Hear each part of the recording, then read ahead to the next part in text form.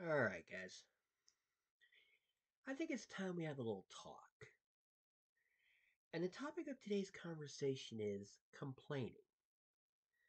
Now, namely, or, or should I say more specifically, the Silent Hill 2 remake.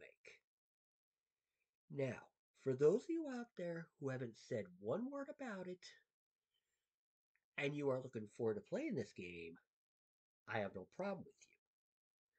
But for those of you who have been complaining about the way about the way they designed Angela or Maria or James or Eddie or any of the other characters in the, in the remake, why? That's all I want to know is why. Why? That's what I want to know. And I want to know, please. That's what I'm asking, is please. Tell me why. Tell me why you have a problem with these characters. And please, for the love of God, people, why are you upset about the, the design? You guys knew this game was going to be redesigned from a PS2 game, right? You do know that, right? Anyway, the one I've heard, the complaint I've heard the most is Angela. And all I gotta say is, why? No, really, why? I don't get it. I don't get it, people. I mean, is there something wrong with her? No, there's not. You people are just a bunch of whiny little crybabies who think that everything should be perfect. Well, not everything can be perfect. And besides, you guys have to remember what Angela looked like in the original. You have to remember. That was back on the PS2.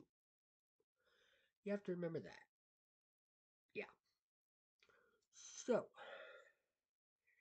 here's what I recommend you guys do. Just do one thing. One little thing. Be grateful for what you're getting. Be grateful and be thankful they're even releasing this this game at all. Be grateful you're even getting it. And for those of you, again, like I like I said earlier in the video, for those of you who are not complaining about that, congratulations. I understand because I'm sick and tired of hearing about it myself. I don't want to hear it no more. And for those of you who are complaining about it, why? No, seriously, why? What's the problem? First of all, I don't see what the I don't see what the big deal is. I don't see what the problem is. I really don't. I really don't see the problem. I really don't. There is nothing wrong with her.